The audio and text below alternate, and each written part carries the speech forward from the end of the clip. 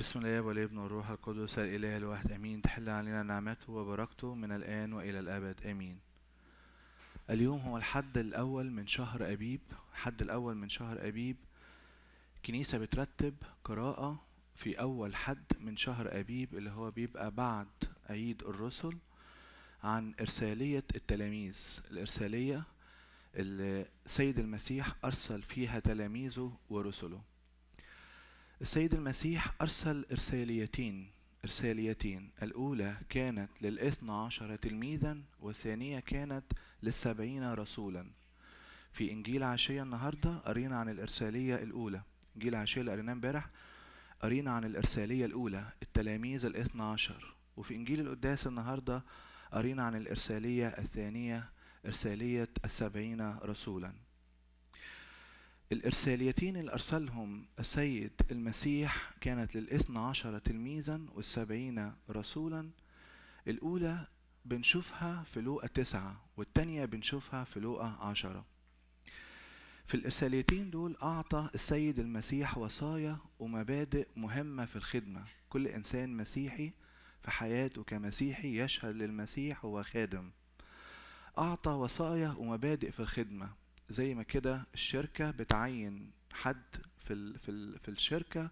أول حاجة بيعرفوه بيها في الشركة ال by-law بتاعت الشركة أو ال organization لما أي حد بيفتح أي organization بيعمل by-law. السيد المسيح ادالهم ال by-law دوت وصايا ومبادئ مهمة في الخدمة. من الوصايا والمبادئ المهمة هنتأمل في حاجتين اتنين. الحاجة الأولى هي مركز الله ومركز الخادم. والحاجة التانية اللي هي ما بين التعب والفرح. الحاجة الأولى اللي هي مركز الله ومركز الخادم في الخدمة.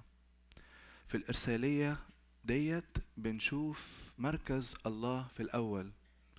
بيقول أول حاجة الحصاد كثير ولكن الفعل قليلون. والحصاد الكثير والفعل القليلون على الفعل أن يطلبوا من رب الحصاد. اطلبوا من رب الحصاد. الله مركزه هنا الله مركزه هنا إن كل خادم وكل فعلة أول حاجة ما بتحصل أي حاجة الله هو المسؤول الأول والأخير عن الخدمة. اطلبوا من رب الحصاد. الله أعطى هذه النعمة لخدامه أعطانا هذه الخدمة زي ما بيقول بولس الرسول في رسالته لكورنثوس الأولى بيقول من هو بولس ومن هو أبولس؟ بل خادمان آمنتم بواسطتهما وكما أعطى الرب لكل واحد. أنا غرست وأبولس سقى لكن الله كان ينمي. إذا ليس الغارس شيئا ولا الساقي بل الله الذي ينمي. إننا نحن عاملان مع الله. وضح إيه وضع الله وإيه وضع الخادم. وضع الله هو الذي ينمي. ووضع الخادم هو الذي يغرس ويسقي. الإنسان الخادم مع الله في خدمته دائما يطلب من الله يصلي باستمرار.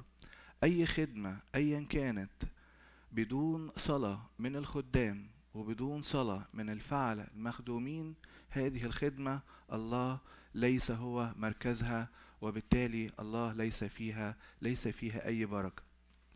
الله ينمي والخادم يغرس ويسقي. نقطة تانية عن مركز الله ومركز الخادم لما بيقول وبعد هذا عين الرب سبعين آخرين أيضا. بعد هذا يعني بعد الإرسالية الأولى اللي أرسلها للتلاميذ الاثنى عشر بعد هذا عين سبعين آخرين أيضا. ولما قال يرسل فعلة إلى حصاده حدد هنا إن الله يعين وإن الله يرسل. عين الرب سبعين آخرين أيضا وقال اطلبوا من رب الحصاد أن يرسل فعلة إلى حصاده يبقى الله هو الذي يعين. والله هو الذي يرسل. الله يجد خدام لولاده وبناته. الله بيقول حقيقة مهمة الحصاد هيفضل كثير من أيام السيد المسيح وإلى الآن وهذه الحقيقة مؤكدة. دايما الحصاد كثير ودايما الفعلة قليلون. حقيقة مش في زماننا فقط أو مش أيام التلاميذ والرسل فقط ولكن حتى زماننا إلى الآن.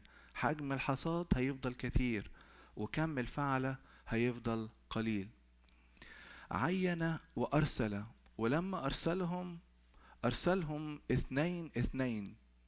كان ليه هدف الله إنه يرسل اتنين اتنين ليه ما أرسلش واحد واحد؟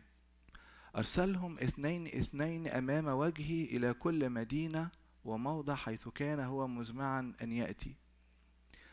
سليمان النبي في سفر الجامعة بيقول اثنان خير من واحد لأن لهما أجرة لتعبهما صالحة لأنه إن وقع أحدهما يقيمه رفيقه.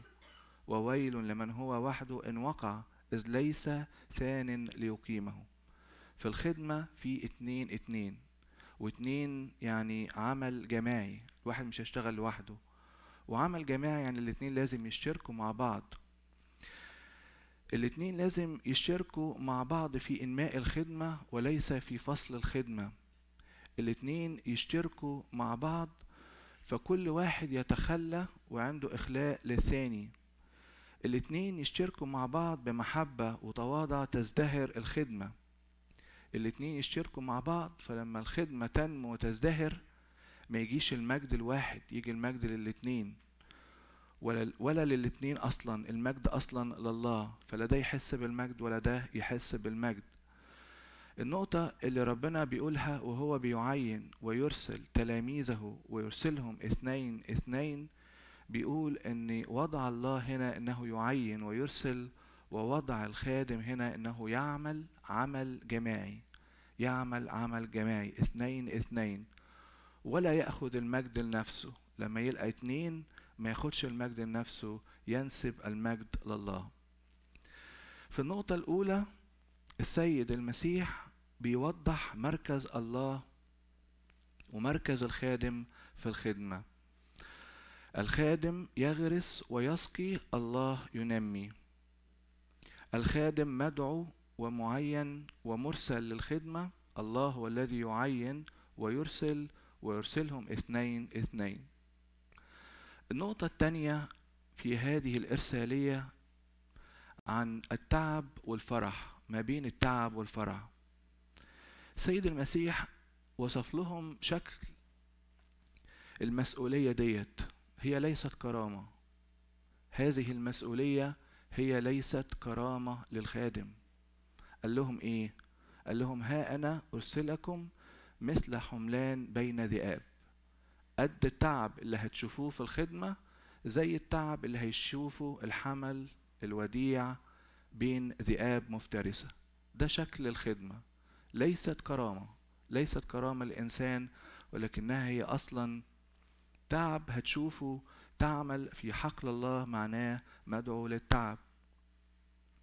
وعشان كده ده أي إنسان بياخد مسؤولية أكتر معناه إن هو ليس له كرامة أكتر بل إنه مدعو لتعب أكتر مدعو لتعب أكتر. قديس أغناطيوس الأنطاكي له قول جميل في رسالته الأنطاكية بيقول إن الله أرسلنا مثل حملان وسط ذئاب لكيما تفترسنا الذئاب فتصير حملان. ده هدفنا في الخدمة تفترسنا الذئاب فتصير الذئاب ديت حملان. ده اللي لقيناه في قصة إستفانوس كان حملا وديعا. اختاروا إستفانوس رجلا مملوءا من الإيمان والروح القدس وكان مملوءا إيمانا وقوة وكان يصنع عجائب وآيات عظيمة في الشعب. فشخص إليه جميع الجالسين في المجمع ورأوا وجهه كأنه ملاك. ده شكل إستفانوس. وأحد الذئاب اللي كان واقف وقت رجم إستفانوس هو شاول الطرسوسي اللي حرس ثياب الجنود أثناء رجم استفانوس ويقول الكتاب عنه إنه إيه؟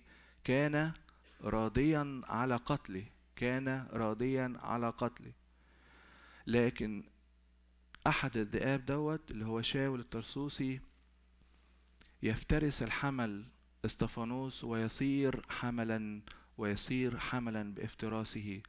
ظهر له السيد المسيح وتحول هذا الذئب إلى حمل وكان في خدمته اسدا غيورا يشهد للمسيح ويستشهد على يد نيرون الطاغية من أجل اسمه.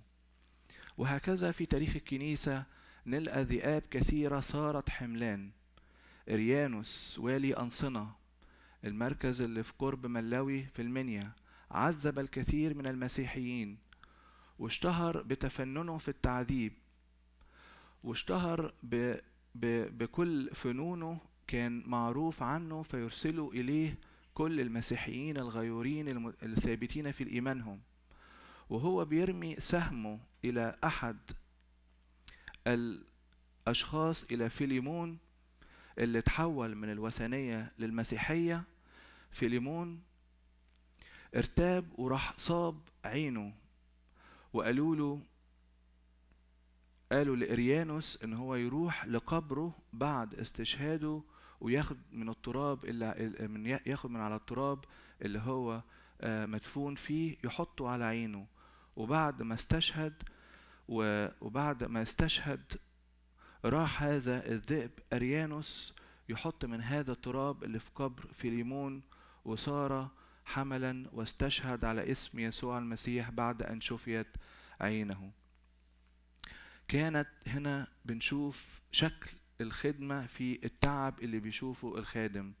التعب من أجل الخدمة هو تعب زي حمل بين ذئاب. وبنقول ما بين التعب والفرح. طبعا في فرح حقيقي في الخدمة لكن الفرح دوت فرح الفرح الحقيقي دوت سيد المسيح هنا بي بيوجه نظر التلاميذ والرسل عن هذا الفرح. بيقول لهم إن الفرح دوت إيه؟ شكل إيه الفرح دوت؟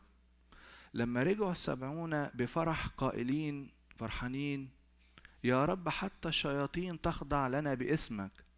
قال لهم إيه؟ لا تفرحوا بهذا أن الأرواح تخضع لكم. ما تفرحوش بكده. بل افرحوا بالحري أن أسماءكم كتبت في السماوات. الخادم لا يفرح بالموهبة التي أعطيت له من أجل خدمة ولاد ربنا. الله يعطي مواهب زي ما بيعطي مواهب إخراج شياطين مواهب شفاء أمراض مواهب في الخدمة على حسب احتياج الخدمة يعطي هذه المواهب. لكن الخادم لا يفرح بهذه المواهب. لا يفرح بهذه المواهب. قال لهم ما تفرحوش أن الأرواح تخضع لكم. ما تفرحوش إن عندكم موهبة إخراج شياطين. ولكن تفرحوا بإيه؟ فرح الحقيقي إيه؟ تفرحوا بخلاصكم. إن أسماءكم كتبت في السماوات. افرحوا بخلاصكم وخلاص ولادكم. إن هذه الأسماء كتبت في سفر الحياة. الفرح بالسلطان مش اللي بياخده الإنسان من الله لكن الفرح بالسلطان على الشيطان وعلى الخطية الفرح بالخلاص. عشان كده بنشوف النقطة التانية هنا اللي وضحها في الإرسالية ما بين التعب والفرح. تعب من أجل الخدمة وهي ليست كرامة وشكل التعب زي الحمل الوديع بين الذئاب المفترسة. وفرح حقيقي في الخدمة وشكل الفرح مش بال مش بالمواهب اللي بناخدها لأجل الخدمة لكن شكل الفرح بخلاصنا وخلاص أولادنا. الله يعطينا أن نرى في كل واحد فينا كشاهد للمسيح في خدمته يرى مركز الله في خدمته ويرى مركزه هو. إنه يرى أيضا إن الخدمة للتعب ويرى أيضا ثمر هذه الخدمة بخلاص أنفس ولاده وخلاص نفسه له كل مجد وكرامة من الآن وإلى الأبد. آمين.